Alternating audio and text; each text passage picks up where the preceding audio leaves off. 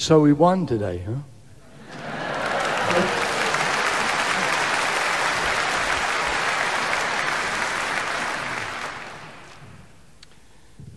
John Wright was something else. I.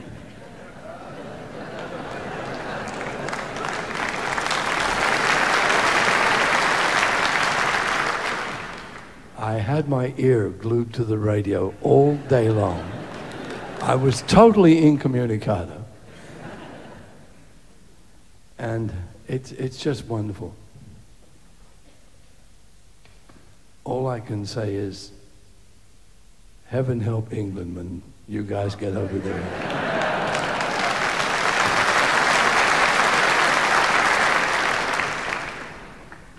Before we start, I must tell you a little bit about the way totally blind people play cricket.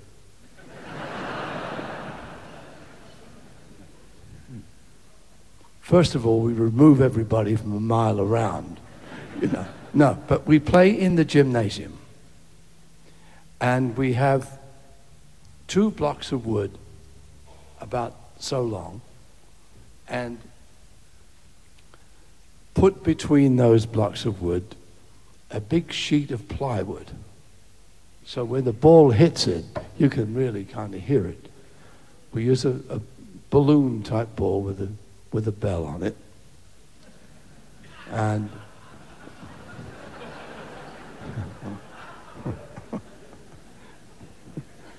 you need the bell for the short sighted, you know.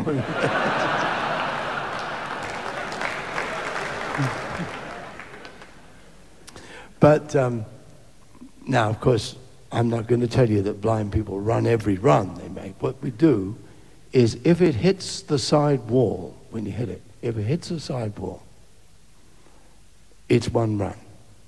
If it hits the end wall of the gymnasium, it's two runs.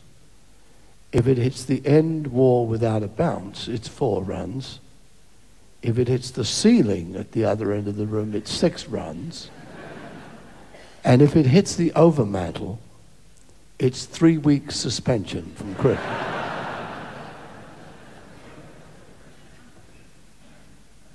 But I think I've got everybody talked into not inviting John Wright to play with us.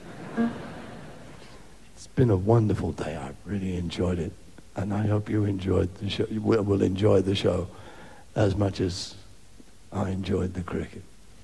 Here's a composition.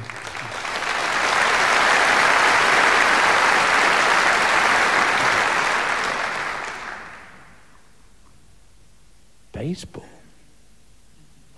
What's that?